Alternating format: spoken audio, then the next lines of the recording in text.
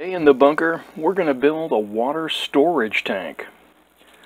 So one of the first missions in Fallout Wasteland Warfare uh, is one to take water from the water treatment plant or storage plant. Um, so I'm going to build, I had this container, and this is a shaker for Parmesan cheese, and I got to looking at it once I took the label off, and I'm like, wow, what a fantastic tank that would be.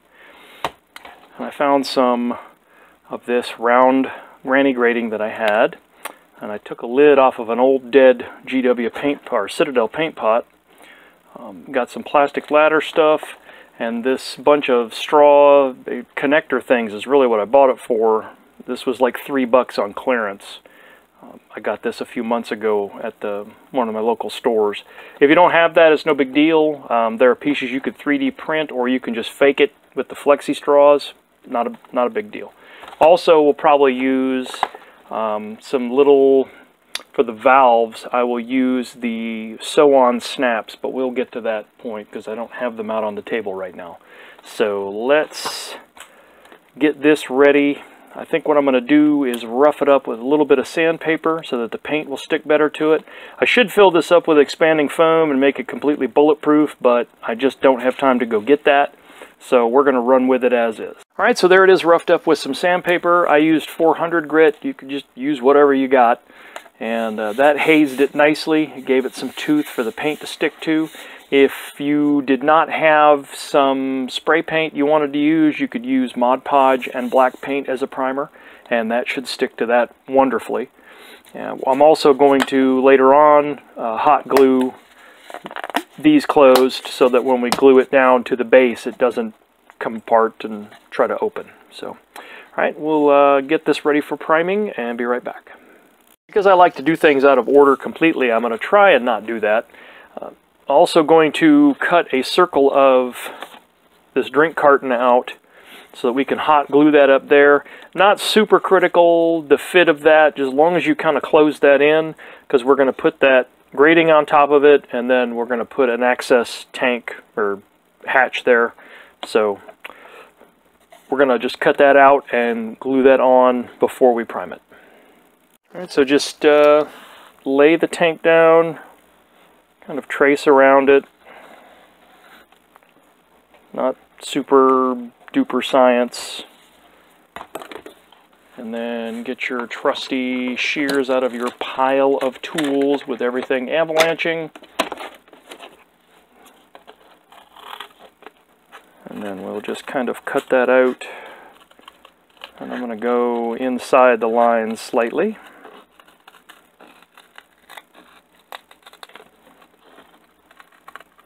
Alright, so just cut that out as best you can, and then we'll get ready to glue that on there. Alright, that's not a not a bad fit. A little hot glue on there and some paint and everything. We're going to distress it enough. Uh, plus the grating on top, you won't really notice it. So we'll heat up the old glue gun and uh, get ready for that part. Guess I should note this is actually a new glue gun. I had to go get one with a deployable bipod because the other one I was using, old GUI, was that was permanently down, so you couldn't get into really, really tight spots the way this one will. So try to get yourself the best glue gun you can, and that's one of the features you're going to want. While that's heating up, I'm going to trim off the outer ring of this granny grating and also enough of the inner to fit the hatch in. So we're going to cut that and we'll be right back. So once you've trimmed all that, you end up with that outer piece, which may or may not come in handy for something this inner piece, which definitely will come in handy for something, maybe not on this project, um, and then the walkway that'll be at the top. And that fits that lid right there. And these old Citadel paint pot lids, the, the, paint pods, I'll go on record as saying that those pots are dreadful. They're horrible. The paint's great, but the, the pots are dreadful. However, now there's a good use for them. So we'll uh, see if our glue gun is it is ready. So we'll get ready and start gluing this on. Put ourselves a nice bead of glue.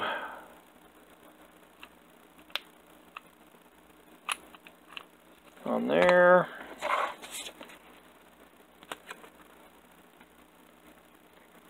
And get that on there. Burn the mess out of yourself. There you go. Yeah.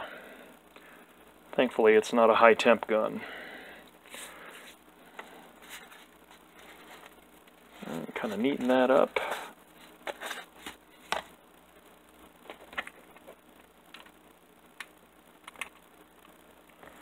Alright, now granny grating is kind of problematic.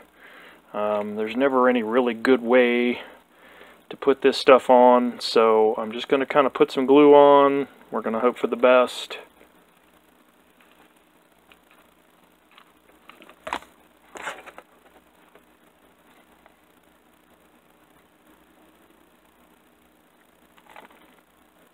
And you end up with it, it kind of comes through the, the grates. It never really looks as neat as it, it ought to.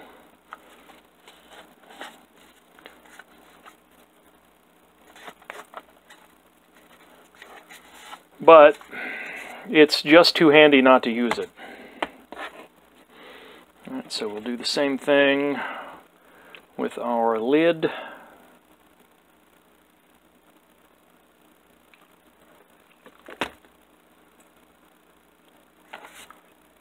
And we'll try and get that in there fairly centered. All right. Knock our glue gun over again. And, oh, I need to glue the lids. Just put a little, probably doesn't take a whole lot there. Just enough to give it some kind of a bond. And we'll knock that down.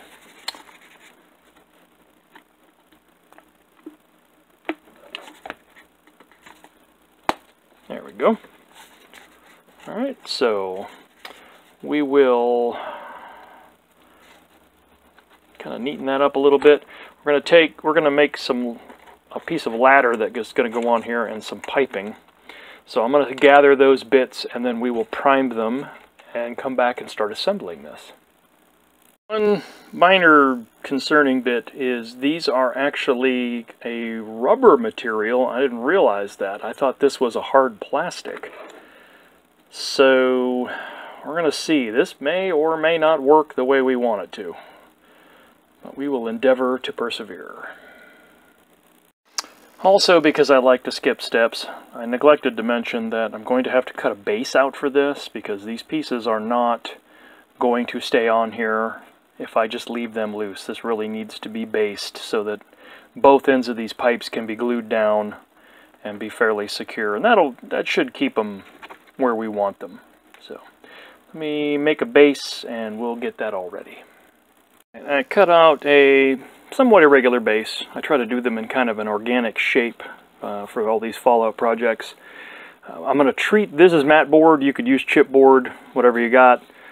I'm going to treat this both sides with sanding sealer so that it will make it more of a, it will sound almost plastic once we get done.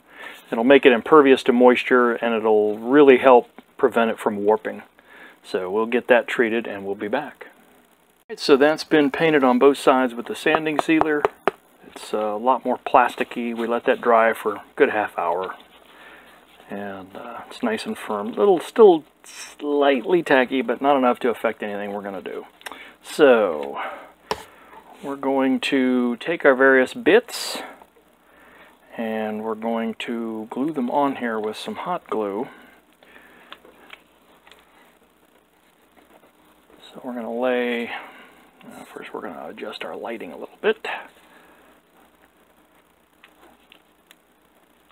Get our bipod out of the way.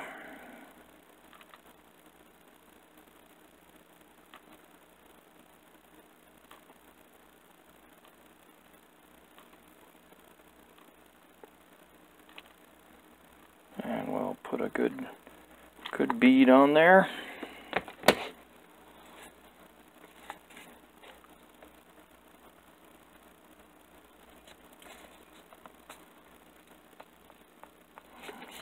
If you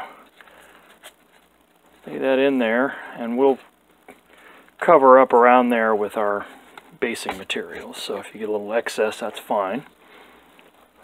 Right, so have our intake pipe.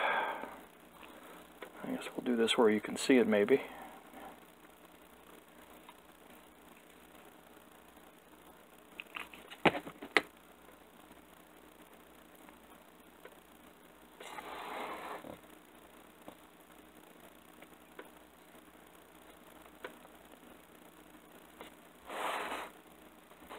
Okay. And last but least, we're going to have our outflow pipe.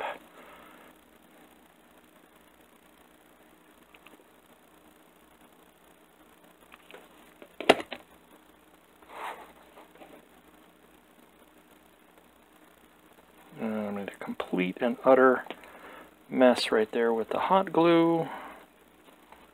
So we'll scrape most of that off.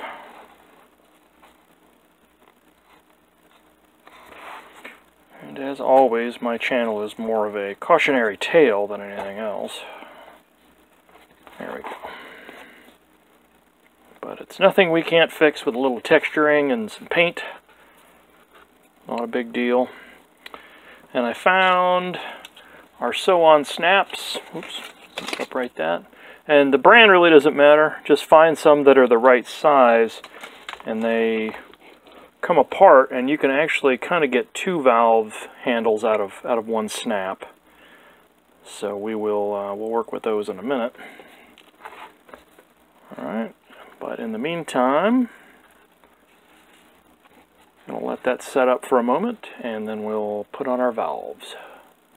Right, so what I've done is taken a little bit of floral wire, which is that cloth wrap wire, but you can use any kind of wire you got, and super glued it kind of as a stem to that snap. And what we're going to do is drill a hole with our pin vise and we're going to glue those in place and I did one for for each.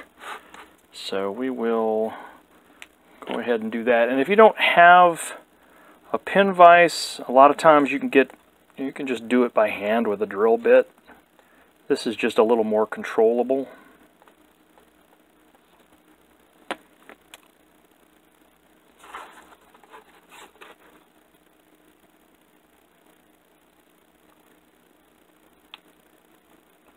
I'm just going to add a little bit of super glue right there just to kind of hold it. And then we'll do the same thing over here. These plastic straws aren't the best things to be working with eh, for something like this, but they will work. I probably need to cut that stem down a little bit.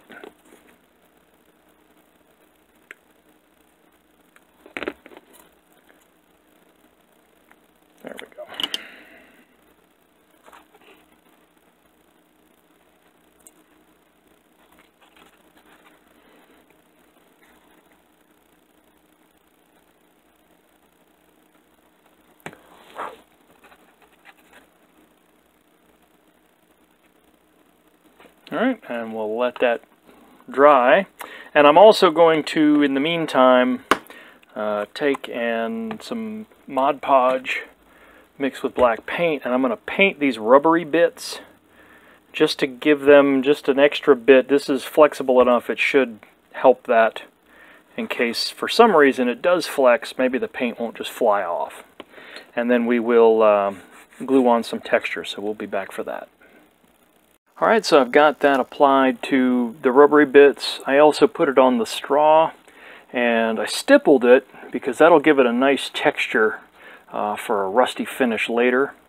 Um, I also applied it in patches on the tank itself and then went ahead and coated the granny grating with it because that stuff is um, hard to paint otherwise and get things to stick to the, the Mod Podge will kind of coat it and uh, give a, a, good base for some paint. And I went ahead and stippled the um, access hatch as well. So we're going to let that dry and I'm going to, in the meantime, apply my usual basing sand mix with some PVA and then we'll be ready to prime it, and we'll be back. So we've got the sand on there, and I got a little bit happy with it, and it got up on the Mod Podge, um, but it kind of works there. It's going to give it a really grainy, rusty texture, which is perfect right where it's at, so I just left it. Um, it was kind of a happy accident, so, and the rest of this, same thing where it's around the bottom, it's kind of up on it, that'll just be extra grainy rust, so not a real problem there. So I'm going to let that set up and then we will get ready and give this a base coat. So we'll be back. So we used our normal uh, red oxide primer as a base and that really kind of helped pull everything together.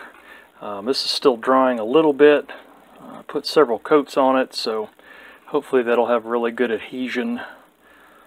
And the places where I stippled on the uh, Mod Podge aren't quite as evident as I thought they might be, but I can still make them out. So that's fine. We can work with that. So we're going to let that dry a little bit, and then we'll start putting some paint on this and uh, see what we get. All right, so that's dried pretty well. Uh, we're going to start with some burnt umber, and I'm going to apply that to those spots where there was some supposed to be heavy rust. So we will take a brush, and I'll be right back. I got to find the brush. All right, um, as you can see maybe, uh, I've rearranged the desk so all of my brushes were in a container that was not readily obvious to me despite the fact that I put them there. I'm really not very bright. But anyway, we're going to take some of the burnt umber and we're just going to kind of stipple that on in that area or the areas where we had stippled on the uh, the Mod Podge.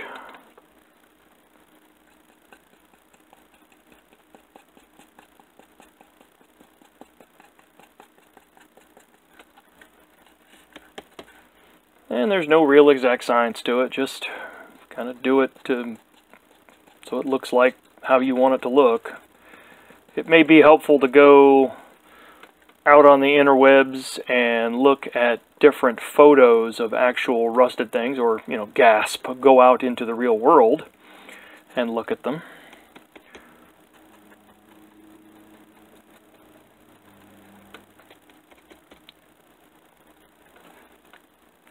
And we'll just kind of apply that generously wherever we think we need to.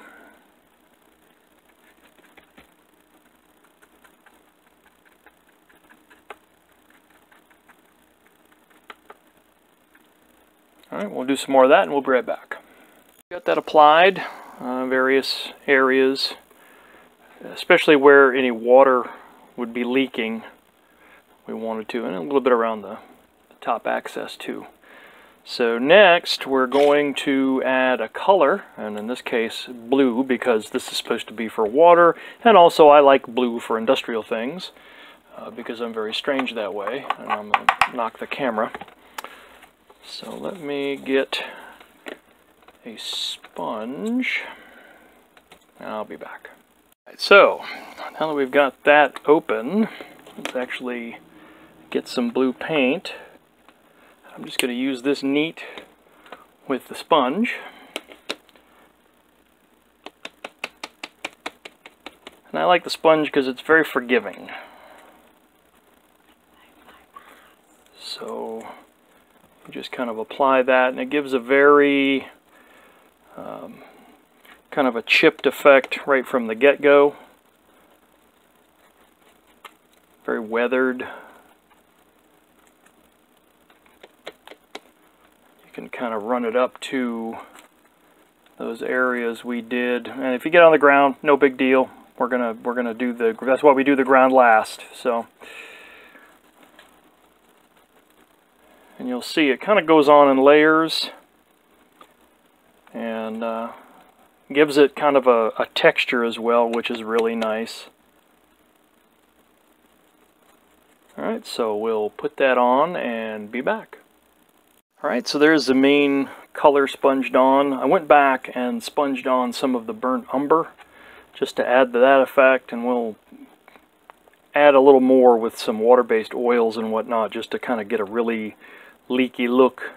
But um, next we're going to pick out, I think the pipes and everything we're going to do in kind of a sort of a dark gunmetal color um, as an accent. They'll mainly be rusty, but we'll add some uh, metallic goodness to them. So we'll be right back.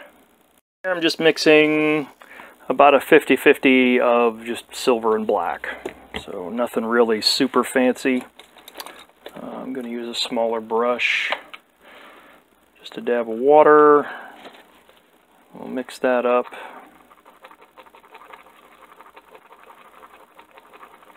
That doesn't take much.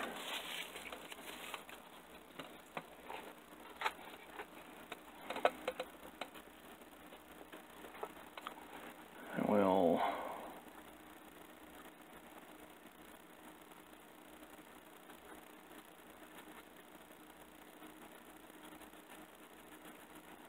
just kind of add that on there just to really sell the idea that that's, you know, a piece of iron pipe that comes out of there. And we'll add some rust back on top of that.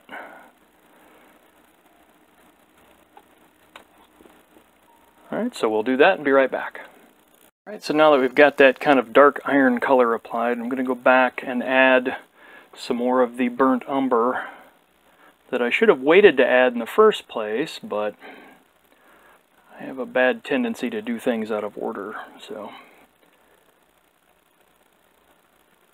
Again, a cautionary tale.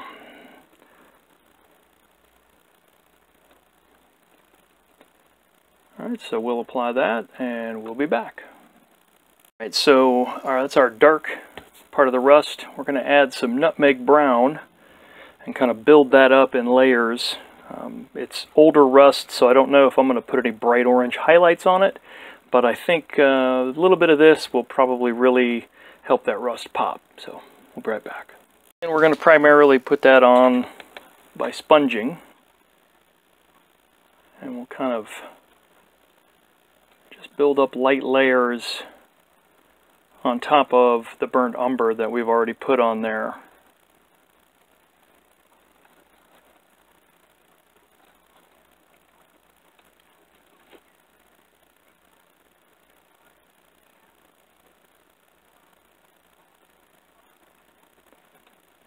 Kind of knock it back a little bit with the sponge if it's too much.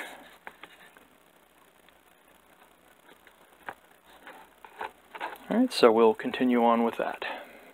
And in typical hacksaw fashion, I just realized I left the ladder off. I didn't even prime it. So I will take the time to go prime that so we can glue it. We'll have to zip it on with some super glue, I guess. Um, so we'll be back. Okay, that's not bad. It's a good start. I want to add just a little more to it. So I'm going to use some of this raw sienna. You could just take the, uh, the nutmeg brown and add a little bit of orange to it if you didn't have any of that. Um, and that would make a suitable color. So this is a water mixable oil. And uh, I like working with these. They're kind of interesting.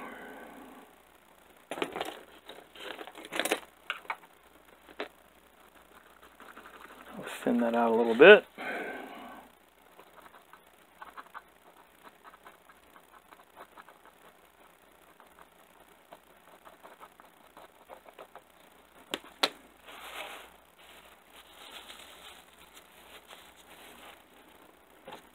And then we'll just take some of that and kind of add that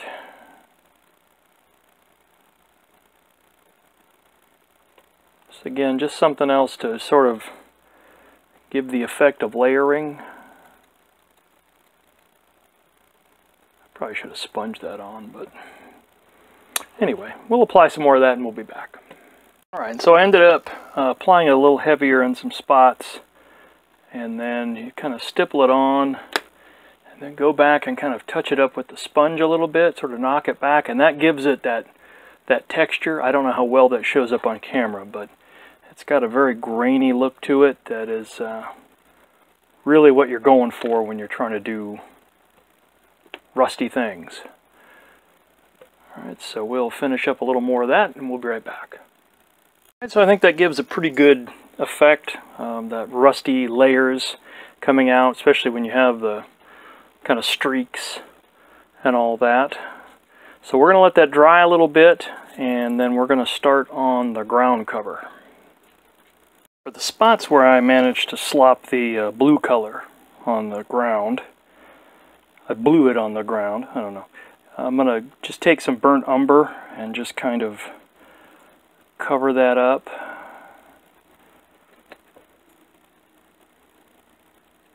And that's fine, that'll kind of give you some shading and extra layering on your ground cover as well.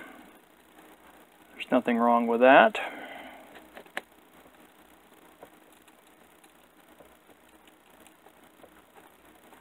Alright, so we'll continue that. Alright, and then for the next color we're going to take some of that uh, nutmeg and we're going to kind of damp brush and sort of make that pop. And then we're going to do, after that, we'll do some tan and we'll follow it up with a highlight of maple sugar tan. So we'll be back. Alright, so with those different layers on there, that really makes that ground pop. Um, course, use any colors that fit your table and your other scenics. Um, I do it this way so that all of my post-apocalyptic slash Fallout stuff kind of matches and matches the ground cloth pretty well. So, all right, so we're going to add, well, we're going to add that ladder I forgot, and then we're going to add some grass and some tufts. But because this has water kind of seeping out a little bit, I'm going to add some actual green to this, whereas the rest of my uh, bases all get kind of a dead grass look. So this will have a little bit of life to it. So we'll be right back. Alright, so I went ahead and spray painted that ladder the same red oxide primer and then I hit it with that mix of black and silver just to kind of give it sort of a rusty metal look and then just zapped some super glue on it and slapped it up there and of course I got it on there crooked but eh, whatever we're gonna go with it so we're going to add some green grass and then around the edges some of our usual dead grass and likewise some of our tufts. We'll do some green and some kind of dead ones. So we'll get that set up.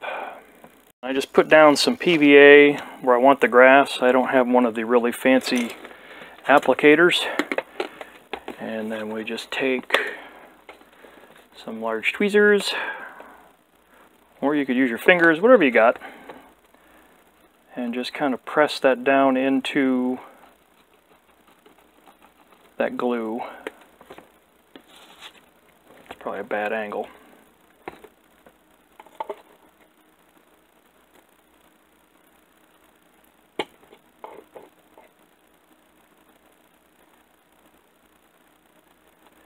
And ideally, if you had some darker green and some lighter green and you mix them, it makes the grass look much more realistic.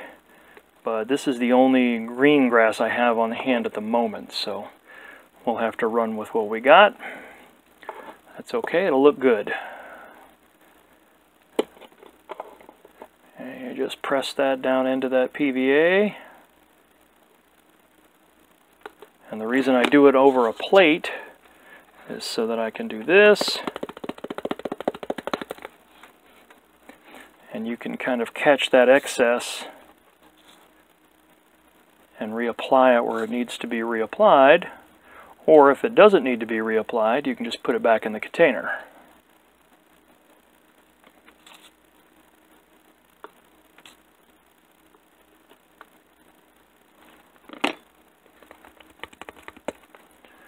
Alright, so we'll keep on that and we'll be back. One of the things I neglected to mention, the water-based oils, one of the the nature of them means that they don't dry very fast and I didn't take that into account. So now I have grass stuck in there, but that's fine. Um, we'll pick that off as we go and we'll paint over it if we need to. It's not the end of the world. Just try to be smarter than I am.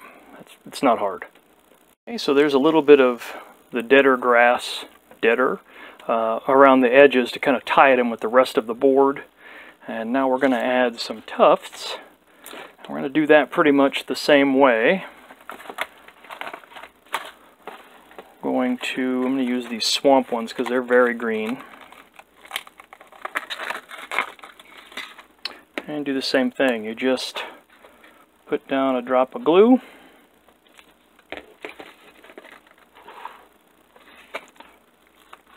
Grab the tuft you desire and put it into the drop of glue and hope that it stays. There we go.